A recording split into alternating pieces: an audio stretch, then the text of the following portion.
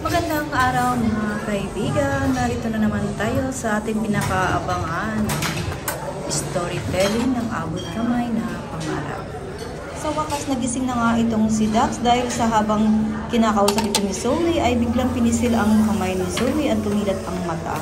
Kaya nabigla naman itong si Zoe na makita nga magising na nga itong si Dax. Subalit hindi pa rin ito makapagsalita itong si Dax dahil hindi pa talaga totally siya magaling. At ito naman ay tila uminit pa ang tensyon sa pamagitan ni Zoe at Justin dahil alam niya na na hindi magtatagal ay magsasalita na din itong si Dax kapag ito ay nagising. Laban dito kay Zoe at hindi rin magtatagal ay baka makulong na rin itong Zoe kapag nagsalita na nga itong si Dax. At tila nga sobra na nga itong naiinis na irita na rin itong si Zoe sa pakikialam nga nito ni Justin. At nagtataka nga itong si Justin kung ano nga ba ang ginawa ni Zoe, bakit bigla nagising na lang itong si Dax. Samantala naman, tila nagkakagulo na naman dito sa kulungan dahil sa pagsumbong nitong ni Moira sa isang warden. Subalit hindi nagustuhan dito ni Madam Lotus na pinagtulungan siya ng isang warden na tila iisahan sila dito. Nang makakuha nga naman ng pagkakataon itong si Madam Lotus kasama ng mga kasamahan niya, ay dito na nga pinahirapan pa ulit itong si Moira at hindi nagdalawang isip na kinuha ni Moira ang pagkakataon na makagamit nga ng cellphone at habang wala nagbabantay at dito kinausap niya si Zoe na tawagan si Carlos at humingi siya ng pera na pangsuhol sa mga kasama. At sinabi niya nga kay Zoe na kailangan, na kailangan niya ng pera para pang proteksyon para hindi siya masyadong mapahirapan sa loob ng kulungan. Kaya naman agad naman tinawagan ni Zoe itong si Carlos, ngunit hindi naman masagot-sagot ni Carlos ang tawag ni Zoe dahil alam niyang nasa tabi niya si Lynette, kaya gumawa naman ng paraan itong si Carlos na makatawag kay Zoe.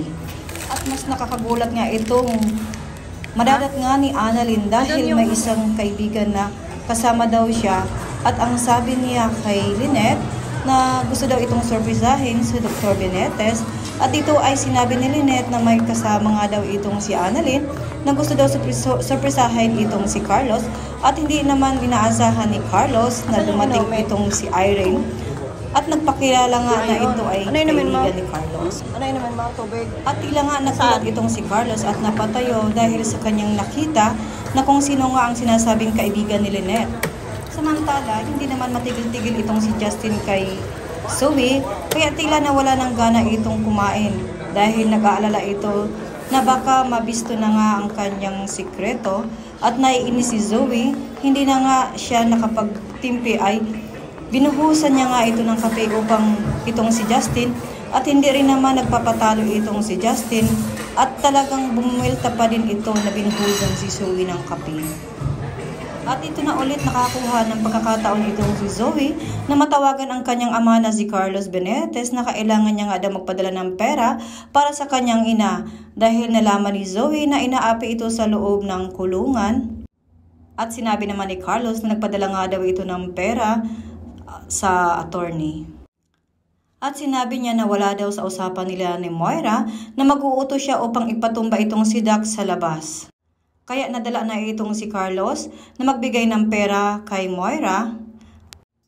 Samantala sa hindi inaasahan dahil sinusubaybayan nga lagi siya ni Justin ay narinig ni Justin na tinawag ni Zoe na tatay, ama itong si Doc Carlos Benetes.